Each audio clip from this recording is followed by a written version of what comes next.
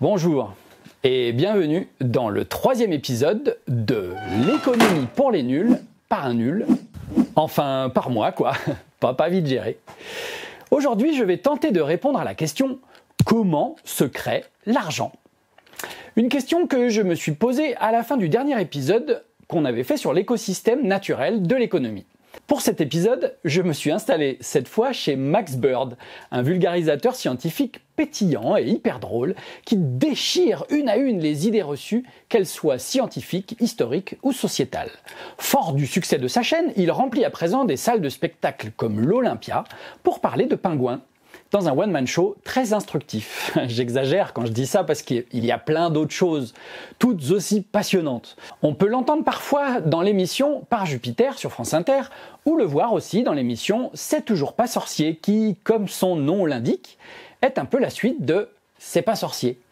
Je me suis dit que pour faire la suite de la dernière vidéo sur l'écosystème naturel de l'économie, c'était assez logique d'aller chez ce fan d'ornithologie. Alors on en était où?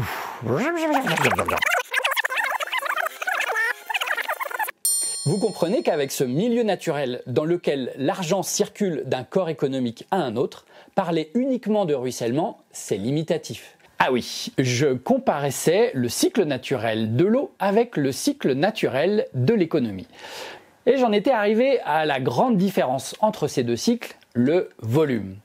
S'il est fixe et immuable pour ce qui est de l'eau, le volume de l'économie est d'une croissance constante. Alors d'abord, est-ce que c'est vrai? Pour répondre à cette question, je vous propose d'imaginer un scénario totalement imaginaire. Mettons qu'au XVIe siècle, chacun se partagerait équitablement un budget annuel d'un milliard de piastres, une monnaie de l'époque. Ça ferait 50 000 piastres par personne, vu qu'on n'était pas trop nombreux. On est bien d'accord, on n'est pas du tout dans une réalité historique, d'abord parce que seuls quelques privilégiés pouvaient être aussi riches, et ensuite parce que le communisme n'allait être imaginé que deux siècles plus tard. C'est juste une équation pour comprendre le besoin de croissance économique. Eh bien, avec l'évolution de l'espérance de vie et l'évolution de la population mondiale, à présent, ça ferait un budget annuel de 8 piastres par personne. Si on s'amusait à convertir les passages par l'ancien franc, le franc et l'euro, ça ferait 0,02 centimes d'euros par personne. Tu te vois tenir un an avec 0,02 centimes d'euros? La création monétaire n'est donc pas une fiction, c'est une réalité qui permet de faire face à l'accroissement de la population mondiale. En ce moment, si on compare les naissances et les décès dans le monde, on voit qu'il y a 220 000 personnes en plus par jour. Ça fait 80 millions de personnes en plus sur Terre par an. Ça signifie qu'on sera 8,5 milliards d'êtres humains en 2030. Donc, si on veut que chacun puisse vivre, il faut cette création monétaire. D'où la question, comment se crée l'argent? Pour répondre à cette question, il faut d'abord bien comprendre que l'économie n'est qu'un outil d'échange. Il ne s'agit de rien d'autre qu'un accord entre deux êtres humains. Ce système d'échange a évolué au fil de l'histoire avec de nombreux outils qui se sont professionnalisés afin de permettre de rassembler des sommes assez conséquentes pour réaliser des projets colossaux, aussi bien dans l'architecture que dans les transports, dans les communications ou même dans la santé. Il a d'abord s'agi de s'entendre sur une monnaie, une unité de valeur commune entre un groupe de personnes, souvent dans une région géographique où les hommes parlent la même langue. Puis il a s'agi de créer des monnaies communes sur des plus grands territoires afin de faciliter les échanges dans des territoires où les déplacements devenaient de plus en plus rapides. Plus le territoire est vaste, plus il est puissant pour rivaliser avec d'autres monnaies. C'est ainsi qu'après la monnaie des pays, les plus puissants sont passés à la monnaie des groupements de pays. Et si on a créé l'euro, c'est essentiellement pour peser dans le game des affaires du monde. C'est pour qu'on ne se retrouve pas démuni et corvéable face au dollar ou au yuan. C'est pour garder une marge de manœuvre dans ce monde où tout est mondialisé. En plus, en se retrouvant sous une monnaie commune, on peut aussi additionner nos PIB, additionner nos richesses on a quand même plus de gueule avec une Europe des 28 qui pèse 18 400 milliards d'euros qu'avec juste les 2400 milliards d'euros de la France. surtout face aux 16 000 milliards des USA ou aux 11 600 milliards d'euros de la Chine. Bon, bien sûr, ça ne fait pas tout, car nos richesses sont tributaires d'importations, notamment asiatiques. Bon, mais revenons à la création d'argent. Il y a trois raisons principales au fait qu'il y ait chaque jour de plus en plus d'argent en circulation dans le monde. La création monétaire, l'évolution des valeurs et la gratuité des ressources naturelles terrestres. Pour ce qui est de la création monétaire, c'est très simple. D'abord, on pourrait croire que c'est le fait que les banques centrales impriment des billets, qu'elles frappent la monnaie, comme on dit. Mais il faut savoir que l'argent physique, les billets et les pièces, ne représentent à présent que 10% de tout l'argent qui circule dans le monde. Tout le reste, les 90%, c'est dématérialisé. C'est ce qu'on appelle la monnaie scripturale. Et si les banques d'État du monde fabriquent continuellement de l'argent, c'est uniquement pour maintenir ce ratio de 10%. C'est juste pour faire en sorte qu'il y ait assez d'argent liquide pour tous ceux qui en ont besoin. Et on est de plus en plus nombreux vu que chaque jour il y a 220 000 personnes de plus sur Terre. En fait, la création de la monnaie, c'est encore plus simple. À chaque fois que l'on va à la banque pour demander un emprunt, pour par exemple acheter une maison, la banque appuie sur un bouton et hop, 100 000 euros se mettent à exister. Bien sûr, c'est en réalité plus complexe que ça parce que la banque est limitée par les garanties qu'elle peut donner. C'est ce qu'on appelle le ratio de solvabilité. Les fonds propres de la banque, divisés par les engagements de remboursement de dette que la banque propose, doit être au moins égal à 8%. Par exemple, si une banque détient 100 euros, de fonds propres, elle ne pourra pas prêter plus de 1250 euros. Elle est surveillée pour cela par la Banque centrale pour éviter de faire faillite et de provoquer des crises économiques. En plus de veiller à cette régulation prudentielle, la Banque centrale décide de la politique monétaire de son secteur économique. La Banque centrale de France pour la France, la Banque centrale européenne pour la zone européenne, la Banque centrale du Japon pour le Japon, enfin bref, vous m'avez compris. Avec cette politique monétaire, la Banque centrale définit la quantité de monnaie en circulation. Cette masse monétaire doit à la fois être adaptée aux besoins des agents économiques et à la fois ne provoquer ni récession ni inflation. Mais revenons à notre exemple de l'emprunt à la banque. Disons qu'on est dans un monde imaginaire comme tout à l'heure. Dans ce monde imaginaire, il y a quelques acteurs de l'économie, mais il n'y a pas d'argent. Il n'y a donc pas d'activité économique. Chacun voudrait bien faire quelque chose, mais il n'y a pas d'argent. Disons que l'un d'eux veut construire une boulangerie et faire du pain. Autour de lui, il y a un fabricant de parpaings, un maçon, un producteur de céréales, un minotier, enfin bref, plein de gens qui aimeraient bien faire des choses avec lui, mais ils ne peuvent pas car aucun d'entre eux n'a de l'argent. Ils ont bien l'air cons, chacun avec leurs compétences et leur savoir-faire. Mais bon, c'est comme ça, il n'y a pas d'argent. Je vous rappelle encore une fois que c'est un monde imaginaire.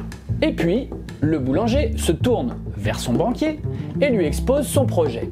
Coup de bol, la banque a 8000 euros de fonds propres et peut donc lui accorder un crédit de 100 000 euros, puisque la banque centrale l'autorise à le faire. Dès que le boulanger a cet argent, il en donne au producteur de blé et au meunier pour avoir sa matière première, il en donne au maçon qui en donne au producteur de parpaing pour lui fabriquer la boulangerie. Et il se lance dans son activité et tout le monde se lance dans son activité. Il y a donc une activité économique qui se met en route. Chacun se sert de l'argent récolté pour vivre.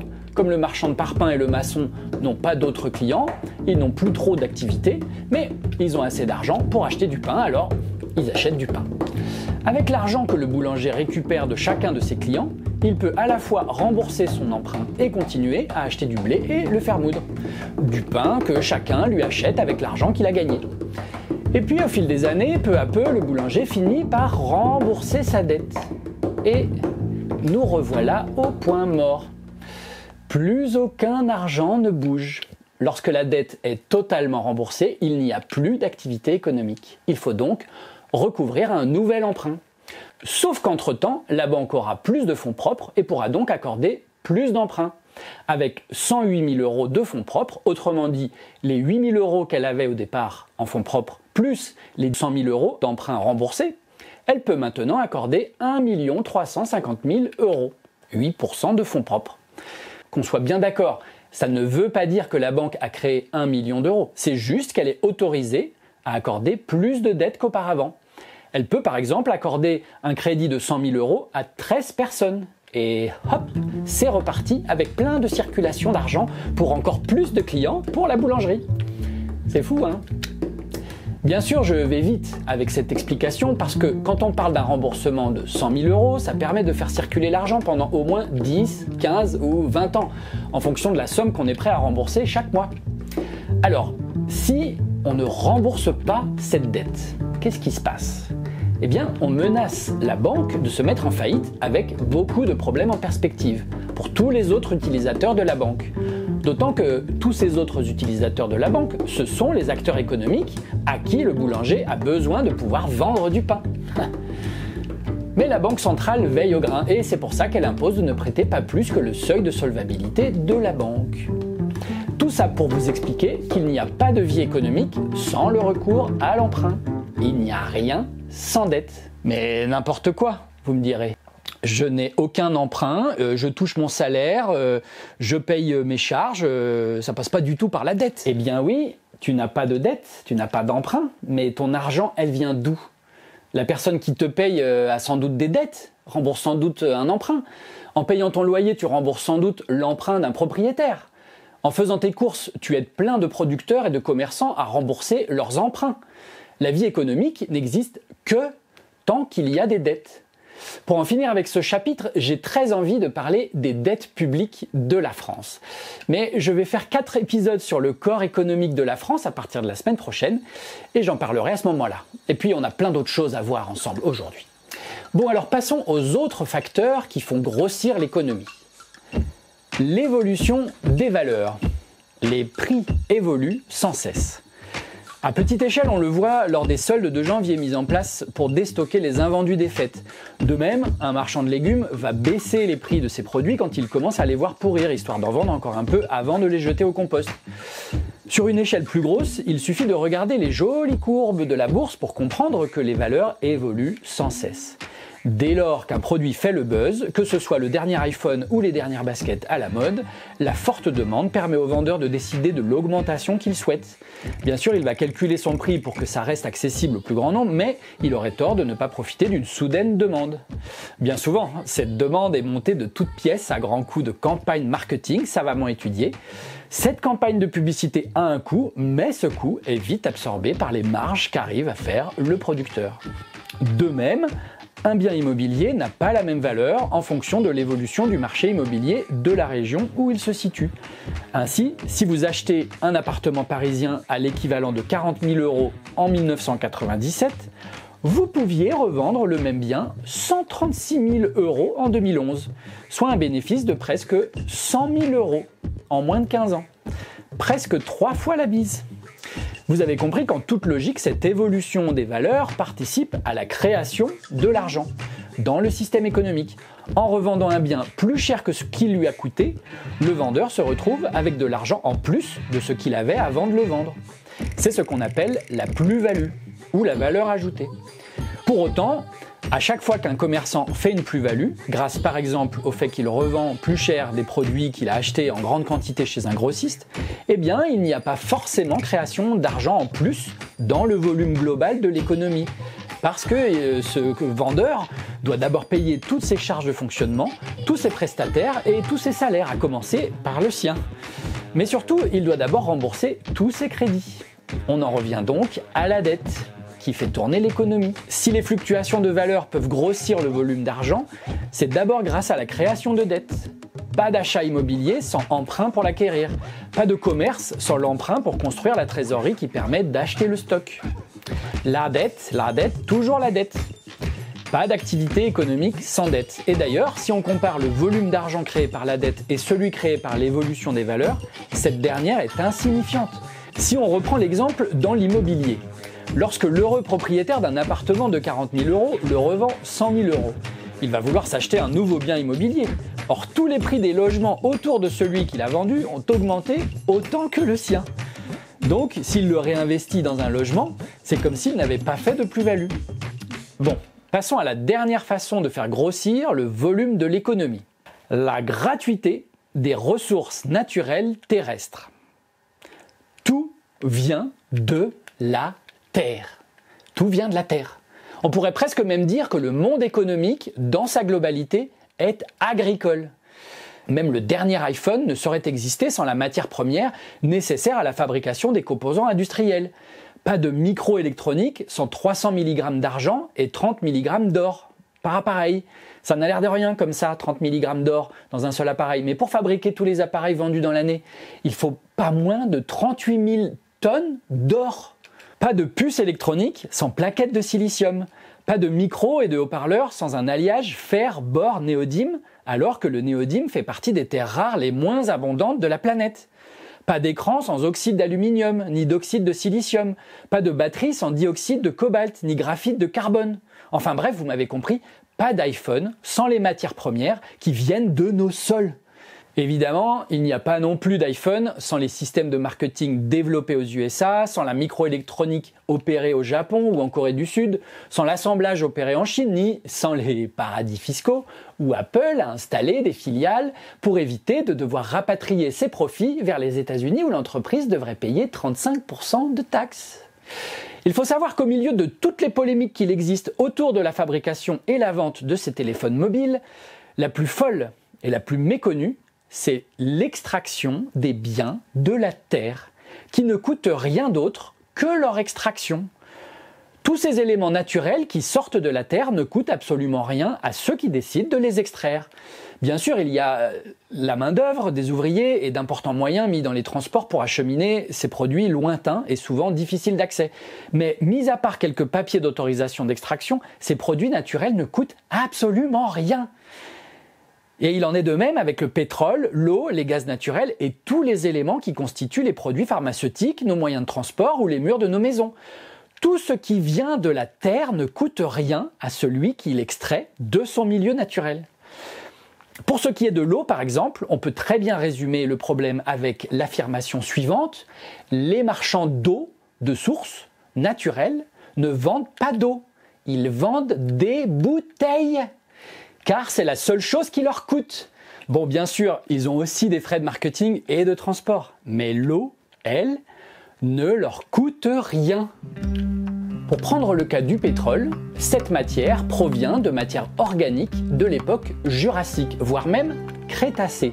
C'est le fruit de la sédimentation de matière en décomposition pendant plusieurs dizaines de millions d'années. Et nous, maintenant que ça s'est bien transformé pendant ces millions d'années, on a juste à venir forer, à le transformer et à le vendre au prix qu'on veut. Inutile de préciser que ce que coûte l'extraction, la transformation et l'acheminement de ce pétrole ne présentent qu'une part infime du prix de vente de chaque baril de pétrole. Chaque baril vendu rapporte donc une fortune à celui qui l'a extrait, c'est d'ailleurs pour ça qu'on l'appelle l'or noir. Et c'est aussi pour ça que certains pays se battent pour conquérir de nouveaux territoires, comme on peut le voir au Groenland avec des batailles juridiques qui opposent la Russie, la Norvège, le Danemark, les États-Unis et le Canada. Au fil des années, ce prix du baril a fini par être le fruit d'un consensus entre les différents producteurs. Je mets producteurs entre guillemets parce que finalement ils font que transformer, ils produisent pas vraiment. Certains d'entre eux ont par exemple créé l'organisation des pays exportateurs de pétrole, un organisme qui leur permet de s'accorder sur ces prix. Un de ses États membres, l'Arabie saoudite, compte à elle seule un tiers des revenus annuels liés aux exportations de pétrole de cet organisme, avec 237 milliards de dollars dans la seule année 2018. Par contre, comme le dit très bien Aurélien Barraud, une croissance exponentielle dans un monde de taille finie est impossible durablement. En effet, dans la plupart des gisements de pétrole, il ne reste déjà plus que 35% de leurs réserves. On approche de la fin de la source, alors que ça fait à peine plus d'un siècle et demi qu'a eu lieu le premier forage pétrolier. Il va falloir imaginer une économie basée sur autre chose, une autre énergie, que celle produite grâce à la pétrochimie. Et espérons que cette nouveauté arrive rapidement, car il est plus qu'urgent de décarboner nos modes de vie. Bon, excusez-moi, j'ai tendance à faire souvent des digressions. Euh, mais voilà, on arrive à la fin de cette vidéo. J'espère que je n'aurai pas été trop long dans l'exposition des trois éléments qui font grossir l'économie mondiale, la création monétaire, l'évolution des valeurs et la gratuité des ressources naturelles terrestres. À partir de la semaine prochaine, on va attaquer un cycle de quatre vidéos sur le corps économique de l'État français. En attendant, merci pour votre curiosité. N'hésitez pas à mettre des commentaires, à partager, à en parler comme vous voulez. Continuez à regarder partout et euh, surtout ne ratez pas les prochaines vidéos en souscrivant au podcast. Salut